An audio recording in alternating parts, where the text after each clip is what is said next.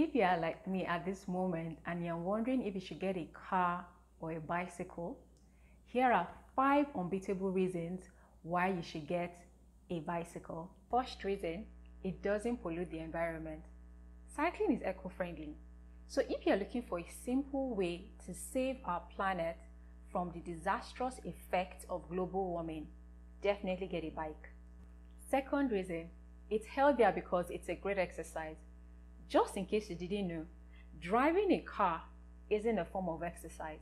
In contrast, cycling keeps you physically active as it engages your muscles and your heart. It's also great it's also great for your mental health as it helps to clear your head and relieve stress. Third reason, it's a great mode of transportation. Cycling is a wonderful way to commute, run errands, explore new places, enjoy nature, relax and bond with others. For one thing, it's generally cheaper than buying a car and the cost of replacement and maintenance are way lower.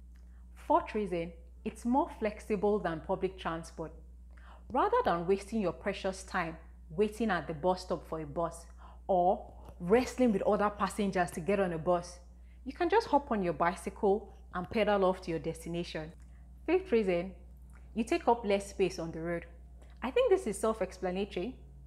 So, are you now convinced as to why you should get a bicycle and start cycling? Yes? No? Let me know in the comments. If you like this video, give it a thumbs up and check out my other videos for awesome content. Thank you!